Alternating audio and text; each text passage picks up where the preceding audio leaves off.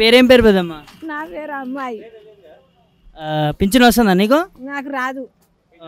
మీ సార్కి వస్తుందా? మా సార్కి వస్తుంది ఇస్తాడా పెన్షన్ పైసలు ఇస్తాడా నీకు?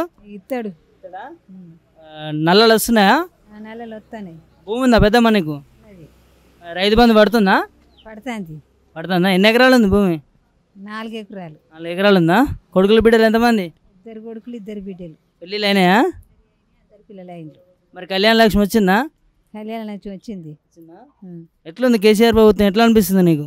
ఎట్లా అనిపించడం అంటే ఇక కేసీఆర్ ఇస్తూనే ఉంటాడు మనం తీసుకుంటూనే ఉంటాం కాదు ఇతనే ఉంటాను తీసుకుంటూనే ఉంటాం మరి ఇక్కడ నెక్స్ట్ గెలిచేది ఎవరు ఈసారి?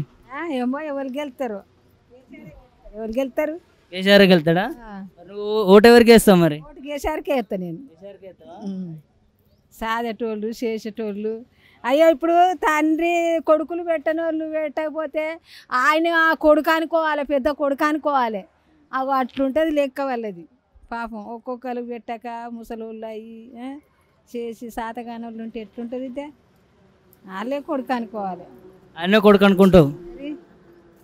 మంచిగా పింఛన్ ఇస్తాడు అన్ని విధాలుగా ఆడుకు ఆదుకుంటాడు? ఆదుకుంటలేడా మరి? పింఛన్లు ఇస్తాడు ఆయన ఇస్తాడు. మరి ఇత్తలేనంటారు కదా కొంతమంది నా కొత్తలు వాళ్ళు ఎవరు ఇస్తారు మా ఇస్తారు మాకు. ఇన్ని సంవత్సరాలు ఇస్తలేడా ఇస్తాడు.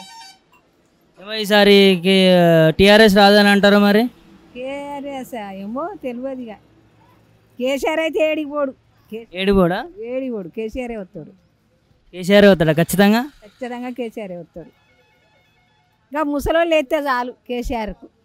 ఇవ్వలేకున్నాం ముసలి వాళ్ళందరూ కేసీఆర్కే మరి. ఎందుకు ముసలి వాళ్ళందరూ కేసీఆర్కి ఎందుకు ఎత్తారు? అరే వాళ్ళ కొడుకులు పెట్టని వాళ్ళు ఉంటే వాళ్ళు ఇస్తాండు కదా. అవి అట్లా గడుపుకుంటాను గట్లా. ఏది పింఛన్ పైసలు ఇస్తుండ్రా తెలియడా ఇక అయ్యే నెలంతా చేసుకుంటారు మళ్ళీ నెల వరకు. మళ్ళీ వస్తూనే ఉండే. ఇంకేంది డై చాలే వాళ్ళకు పెట్టనోనికి? లంగా కొడుకులు దొంగలు ఉండరా? అట్లా కేసీఆర్ గెలుతాడంట మొత్తానికి. సరే గెలుతాడు.